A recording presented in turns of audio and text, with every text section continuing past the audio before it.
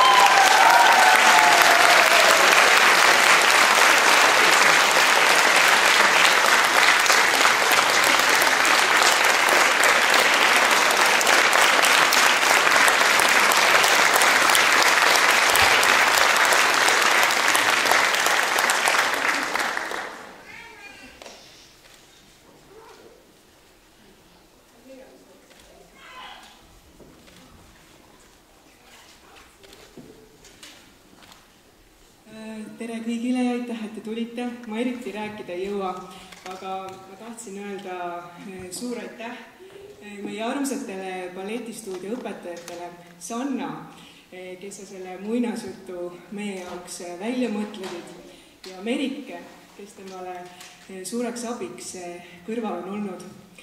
et täna siin ise laval olles ja oma tütart laval vaadates ja kõiki neid teisi armsaid väikeseid ja suuri tantsijaid ma mõtlesin sellele, et tegelikult on elus väga lihtne üks selline asi, et, et iga tüdruk tahab natukene aega-ajalt elada muinasjutus ja suur aitäh, et te olete meile seda võimaldanud.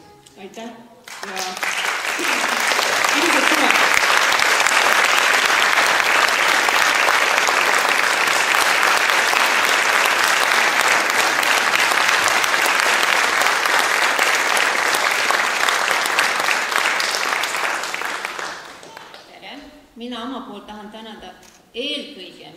Tantsijat, palun aplausi.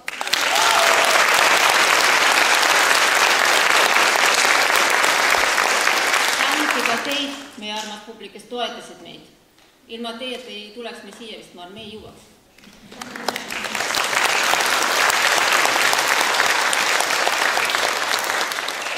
ja otse loomulikult need, kes aitasid sellel õhtul toimida sest kaks kuud tagasi mina ei uskunud, et see võib juhtuda.